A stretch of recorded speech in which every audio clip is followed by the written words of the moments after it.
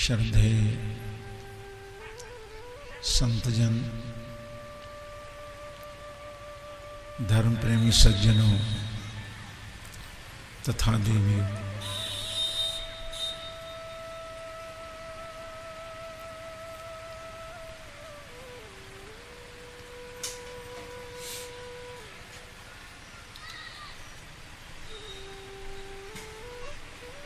सत्संग पंडाल की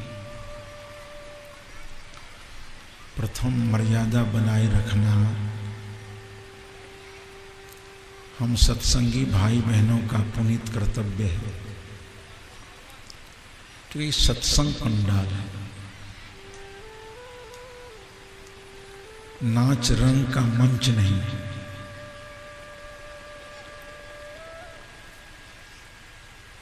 और सत्संग की बातें हमारे बाह्याभ्यंतर को छूने वाली, बदलने वाली और सजाने संवारने वाली होती है।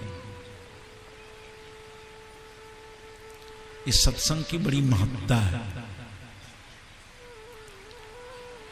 गोस्वामी तुलसी ने कहा कि सत्संगत दुर्लभ संसारा निमिष दंड भर एक हूँ बारा एक क्षण सत्संग का हो जाए। और सत्संग की एक बात आपके दिल को स्पर्श कर जाए तो वहीं से आपके जीवन का नक्शा बदल सकता है।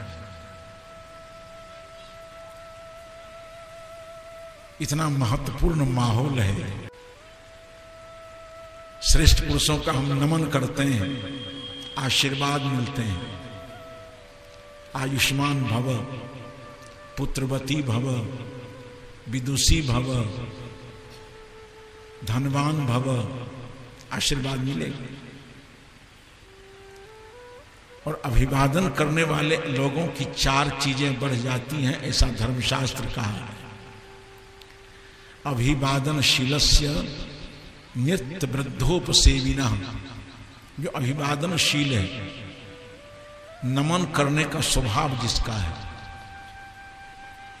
श्रेष्ठ पुरुषों का नमन करें। माता, पिता, गुरु, विद्वान, बुज़ुर्गों के बंधन के साथ साथ सेवन भी करें, उसकी सेवा भी। हो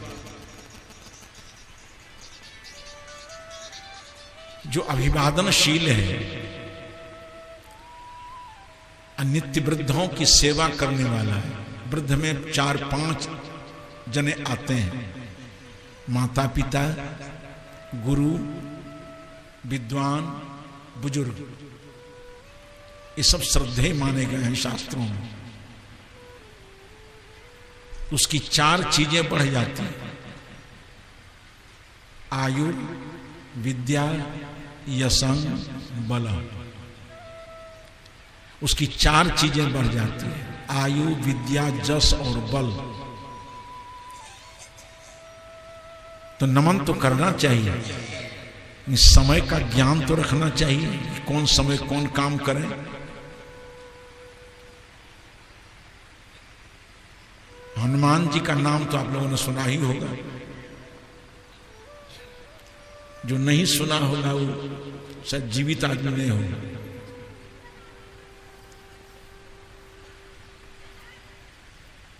क्योंकि हनुमान बहुत चर्चित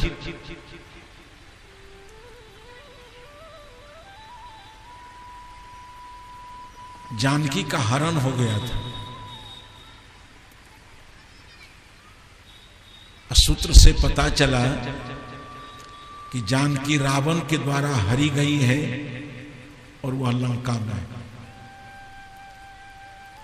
वो लंका कहाँ है, इसका पता अभी तक नहीं। इतिहास में भूगोल में जिस लंका का आप नाम सुनते हैं, वो रावण वाला लंका नहीं है, और रावण को वहाँ होने की कोई पहचान नहीं। जो लंका भी दक्षिण भारत में आप लोग देख रहे हैं, वो रावण वाला लंका नहीं है। उस लंका का पता ही नहीं है कि लंका कहाँ है। अयोध्या राम की है तो बहुत सारी सबूतें हैं राम को होने के। बहुत से सबूत है। राम जन्मभूमि है, सीता रसोई घर है। राम लक्ष्मण भरसतोघन को खेलने की क्रीड़ा भूमि है। परिवार का कलह इतना बढ़ गया कि परिवार के कलह से दुखी होकर के राम जी सरजुग में डूब करके मर गए। राम जी जल समाधि लिए थे, डूब गए। सरजुग में वो गुप्तार घाट है। इतने चिन्ह हैं राम को होने के अयोध्या में। रावण को होने का कोई चिन्ह नहीं है लंका में, जो भंडार नायक वाला लंका है।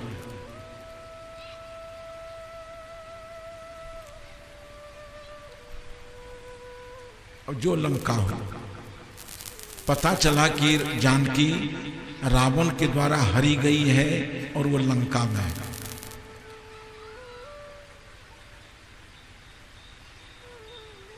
अब इसका पता करने के लिए आदमी की तलाश होने लगी। सब लोग तो बोल रहे हैं, कोई सोच रहे हैं, हनुमान जी चुपचाप हैं। तो जामवंत ने कहा कि का चुप साध ही रहो बलवाना। राम काज लगी तब अवतारा। तुम्हारा ही अवतरण हुआ है राम के काम के लिए फिर चुप कैसे बैठे हुए हो। तो सुनता ही भय पर्वताकारा।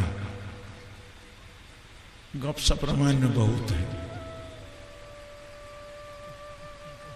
मशक समान रूप कभी धरी। आदि मच्छर हो जाएगा जी। ऐसा उपन्यास दुनिया में सुने हैं कहीं। लेकिन समय पर आता हनुमान जी मच्छर हो गए। समय आ तो इतना बड़ा शरीर बनाया इतना लंबा चौड़ा चार सौ कोष का शरीर बनाया जितनी दूरी लंका और अयोध्या की नहीं है। ये सब थोड़ा गप सप है। इसको भी छोड़ दीजिए। हनुमान जी चले गए। मंदिर मंदिर प्रतिकर शोधन मंदिर मंदिर में झाँक करके हनुमान जी ने देखा, जानकी का कहीं पता नहीं चला। फिर ढूंढते ढूंढते उन्होंने देखा कि अशोक वाटिका में पेड़ के नीचे जानकी जी बैठी हुई है। बड़ी श्रद्धा उमर गई। जैसे हमारी बहनों को श्रद्धा उमरती है, इस श्रद्धा का संवरण नहीं कर पाती है। अगर करुणा का समय आवे तो इनको रोने में देर नहीं रोना तो इनके समुद्रे बसता है इसके आँख में। जो रोने का कारण आवे तो ये सोच नहीं सकती है, संवरण नहीं कर सकती है, रो देगी। क्योंकि माताओं का जीवन, करुणा का जीवन होता है, करुणा की मूर्ति बैठी हुई है। रोना तो एक सेकंड का काम है। और भावुकता भी उतनी ही है।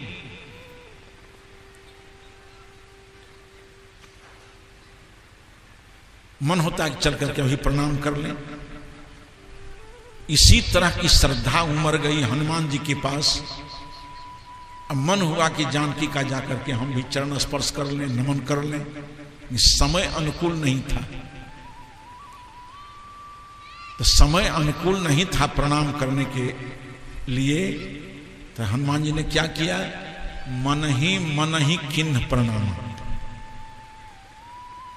नीति के अनुसार समय अनुकूल नहीं रहने पर हनुमत लाल जी ने मन ही मन माँ जानकी का नमन किया, किसी पेड़ की डगाल पर छिप करके बैठ गए। प्रकट होने का समय नहीं था। क्योंकि बहुत सारी बातों की जानकारी लेनी थी उनको। रावण बहुत बड़ा योद्धा है। जहाँ तहां उसके वीर लोग सब बैठे हुए हैं, सबकी निगरानी करनी है, देखनी है सारी चीज़ों कहाँ कौन योद्धा बैठा हुआ है। नीचे उतरे, अब ये कहीं मुकाबला हो जाए। इस सारी परिस्थितियों का अध्ययन करके हनुमान जी ने सोचा कि अभी निकट जाकर प्रणाम करने का समय नहीं है तो मन ही मन ही किन प्रणाम। मन ही मन प्रणाम करके किसी पेड़ के डगाल पर छिप करके बैठ गए। उसी तरह से अभी मंच पर आकर के प्रणाम करने का समय नहीं है। अब बारी बारी से दस बीस माताएँ आकर के प्रणाम करे, साहबंदी करे तो गाड़ी छूट जाएगी। वो प्रणाम करते रहे, हम आशीर्वाद देते रहे और आप लोग टकटकी लगाकर देखते रहे, सुनने के लिए कुछ मिलेगा नहीं। इसलिए बीच में प्रणाम करके सत्संग प्रवचन के क्रम में बाधा नहीं डाले। देखिए, सत्संग के बाद आरती होती है, कुछ साखियाँ गाई जाती हैं, और सभी भाई बहनों को बंदगी करने का अवसर मिलता है। उस समय बंदगी करें, फूल पत्ती जो कुछ चढ़ाना, बढ़ाना चढ़ाना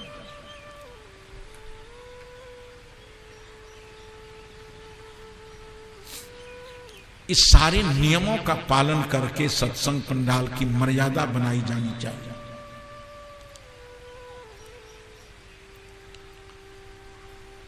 अब थोड़ा निवेदन है।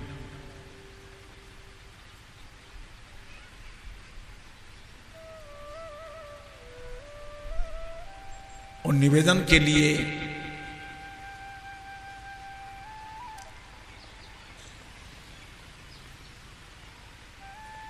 कुछ प्रसंग को सामने रखना चाहता हूँ।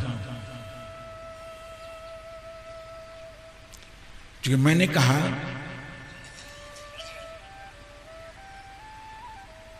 कि सत्संग की एक घड़ी, आधी घड़ी, आधी में पुनी आध। तुलसी संगति साधु की हरे कोटि अपराध। निमिष दंड भरी एक बना, एक क्षण आप सत्संग कर लें एक शब्द को आप धारण कर लें, जीवन निहाल हो जाए। एक शब्द बहुत। एक बार प्रजापति ब्रह्मा के पास हम लोग तो बहुत सुन करके भी बदलते नहीं हैं। सुनते हैं तीन तीन घंटे, अब परिवर्तन कुछ नहीं होता है। पल्ला झाड़ सत्संग करते हैं। आजकल कुछ कपड़े ऐसे बने हैं कि स्नान कर लीजिए, पानी में धो दीजिए, झटक दीजिए कर से, पानी गिर गया, कपड़ा सूख गया। बहुत धूप और हवा लगाने की ज़रूरत नहीं है। ऐसे ऐसे कपड़े आजकल तो भींचा ही नहीं है बेचारा। अब भींज भी गया तो एक बार ज़ोर से झटक दीजिए, सब पानी निकल गया, कपड़ा सूखा का सूखा है। ऐसे पल्ला झाड़ सत्संग हम लोग भी करते हैं। सत्संग में बैठ के गमछी बिछा करके, आसनी बिछा करके और सत्संग से उठे आसनी को झाड़ दिए बाबा जी के बाद बाबा जी के पास चल जाओ। हम खाली खाली बैठे थे, खाली खाली चले जाए। पल्ला झाड़ सत्संग से काम नहीं चले। गोस्वामी तुलसी ने कहा था, एक नियम की सुनी असमुझही जन मुदित मन मज्जही अति अनुराग लही चार फल अछत तनु, साधु समाज प्रिया। महाराज श्री राम ने जहाँ सबरी से कहा था, कुछ महापुरुषों के विचारों के प्रसंग पर ध्यान दीजिए। श्री राम जी ने माँ सबरी से कहा कि सबरी, मैं तुमसे नवधा भक्ति की चर्चा करना चाहता हूँ।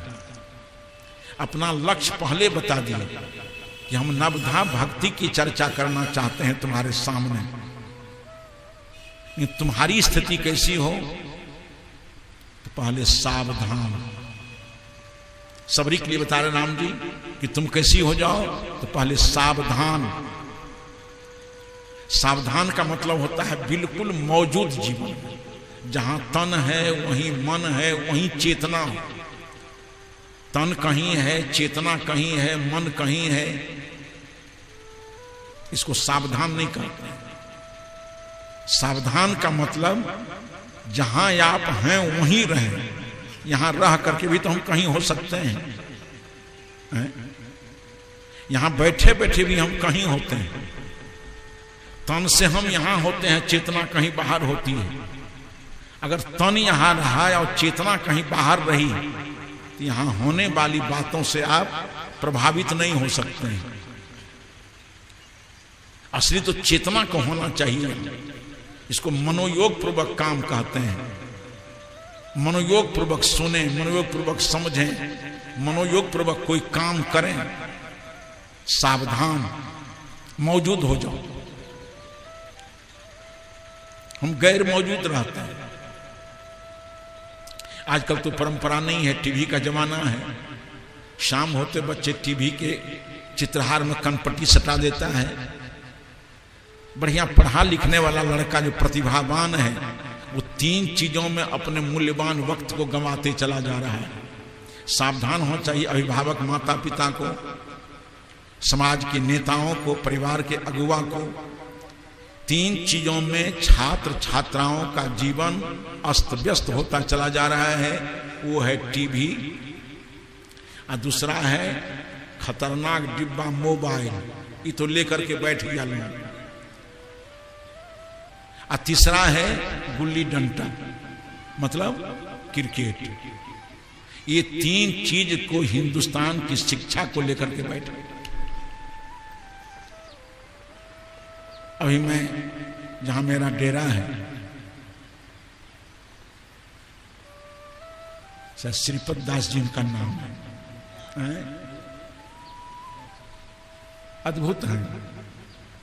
वो तो हैं बूढ़े लगते हैं बच्चे। हैं इतना सरल इतना सहज स्वभाव उनका है कि सामने आते हैं तो मालूम पड़ता है कोई बच्चा आ गया। इतना सरल और सहज श्रीपद दास जी का जीवन है। उनका शायद कई बेटे हैं उनके। उनके बेटे, घर की पतोहू छोटे छोटे बच्चे, सब उदाहरण है। गलास लेकर कोठरी से बाहर निकलते हैं, लगता है सब टूट पड़ा, क्या चाहिए? अब एक गिलास पानी लेना है तो सब टूट पड़ा है, कई आदमी लाके पानी देगा? तो श्रीपद दास जी का पोता है। शायद गोवर्धन दास है। क्या नाम है? छोटा लड़का है। अभी सुबह सुबह मैंने पूछा उससे कि बेटा, क्या करते हो? कहा पढ़ते हैं? हम कहा, पढ़ करके क्या बनोगे? तो कहा, डॉक्टर। हम की टीवी देखते हो कि नहीं? तो उसकी सरस्वती गुम हो गई। अब हाँ ना कहने में उसको कुछ बनता नहीं है।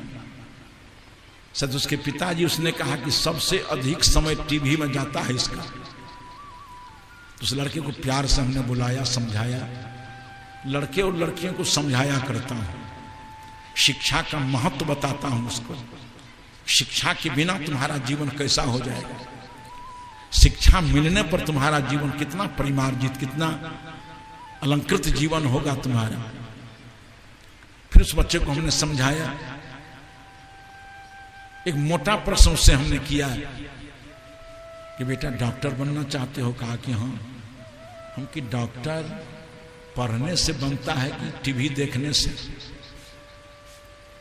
थोड़ा होश में आया हो हमने कहा, डॉक्टर बनोगे पढ़ने से कि टीवी देखने से? कहा, पढ़ने से। हम क्या तुम टीवी देखते हो तो अब क्या करोगे? है स्कूल में पढ़ने जाओ, ट्यूशन पढ़ने जाओ। उसके बाद भी मेडिकल कंप्लीट करने के लिए आठ घंटे अलग से सेल्फ स्टडी चाहिए। स्कूल और कोचिंग ट्यूशन छोड़ करके आठ घंटे तुमको अलग से पढ़ना चाहिए। इतना मूल्यवान समय को तुम टीवी देखने में लगा देते हो, फिर उसकी जेब पर मैंने हाथ दिया। हमने कहा कि मोबाइल रखते हो कि नहीं? कहा कि नहीं, वो तो नहीं छे हम कि एक रोग से बच ले गुल्ली डंडा खेलते हो कि नहीं? क्रिकेट। आजकल होनहार लड़कों को देखते हैं, दो बजे मैदान में चला जाएगा। हमारा तो हवाई फ़ील्ड में स्थान है। दो बजे ये लोग उतर जाता है रोड पर, फ़ील्ड में। अब वो कड़ाके की धूप। और झूम झूम करके गेंद फेरता है घूम घूम करके बल्लेबाज बल्ला चलाता है। छह सात जब तक सूर्य अस्त नहीं हो जाए, अंधकार सघन नहीं हो जाए, तब तक गुल्ली डंटा चलाता है। तो तीन तीन चार चार घंटे जो गुल्ली डंटा चलाएगा, शाम को सुतेगा कि पढ़ेगा? तो उसको हमने समझाया कि डॉक्टर तुम पढ़ना चाहते हो तो पढ़ने से बनोगी टीवी देखने से। तो कहा, नहीं, पढ़ने से। हम कहते अब क्या करोगे? कहा कि अब पढ़ेंगे। हमने कहा टीवी कहा, नहीं देखेंगे। तो एक प्रश्न और क्या है कि झूठ बोलते होगी समझ। हमको ठगते तो नहीं हो। हमसे जो शर्त कर रहे हो, हम आशीर्वाद देकर जा रहे हैं कि तुम डॉक्टर बनना चाहते हो, बनो। इन मेरी शर्त तुम मान लो कि जब तक मेडिकल कंप्लीट नहीं कर जाओगे, तब तक टीवी के पास नहीं बैठेंगे। उस लड़के ने कहा कि ऐसा ही करेंगे।